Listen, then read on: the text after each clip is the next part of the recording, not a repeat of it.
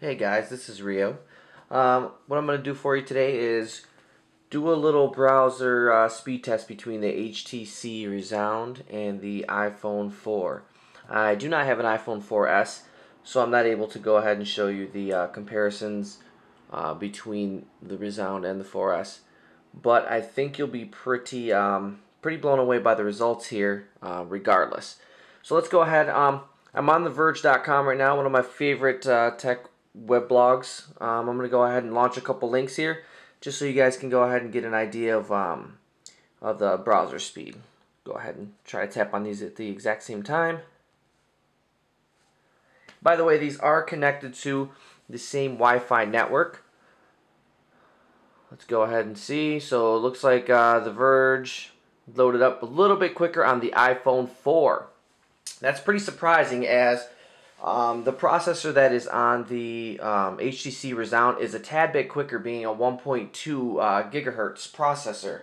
Um, so that's a little bit odd to me that it actually loads uh, quicker.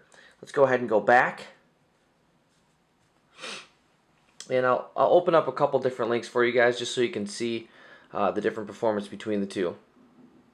As you can see here, the iPhone 4 also uh, reloaded the page quicker um, going back the previous page. Now, one thing I want to point out is you see here at the top, um, you have some animation going on. That's because the HTC Rezound actually runs Flash. Um, so that may or may not have much to do with uh, the browser speed uh, pulling up web pages because it is loading some Flash content. So it very well might affect it, but Not quite sure. Um, I did some tests turning it off, and I didn't see any any real difference.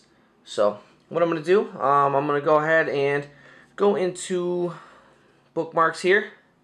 I'm going to load another one of my favorite sites here. We're going to load Engadget. Do this at the same time.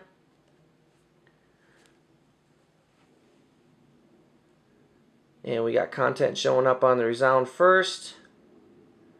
iPhone 4 catching up.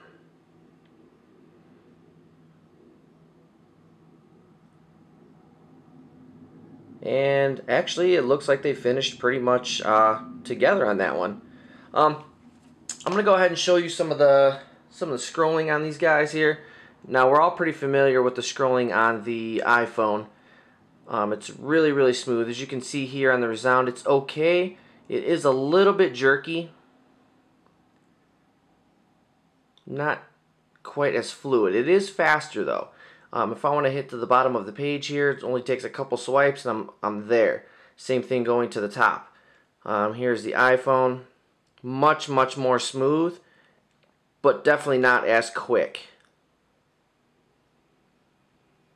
Although there is a shortcut with the uh, with the iPhone to get back up to the top. If you push this little status bar um, where the time and your carrier is, it'll actually jump you right back to the very top of your page.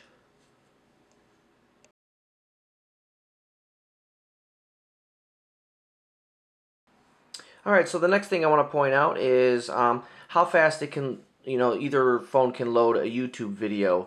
Um, as you can see, I have um, my videos page loaded up here on YouTube. Um, now, I want to point up, out something else to you. As you can see, the screen size is quite large on the uh, on the Rezound here. The page, it goes, you know, way underneath where the iPhone stops and then way above where the iPhone starts. It's, it's pretty neat how, how big the screen is.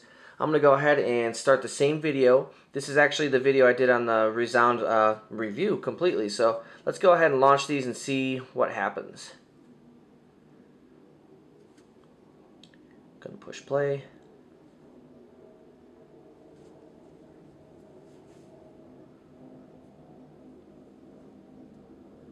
So, hey guys, hey guys. Uh, this, is Rio. Um, they load pretty much exactly the same. Um, on on either phone. It looks like it launched almost simultaneously. So, it, as far as launching a YouTube uh, video, they launch you know at similar speeds. However, I will say the high quality version is uh, looks a little bit better on the iPhone, which is a little odd to me since the Rezound has a higher uh, pixel per inch count.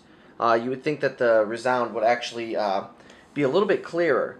Um, maybe it's the fact that it's a larger screen and um, you know the video is a little bit further stretched out. I'm not quite sure, but uh, anyway, it just looks a little bit better on the iPhone. However, it is a very enjoyable experience on the Rezound because of that large screen.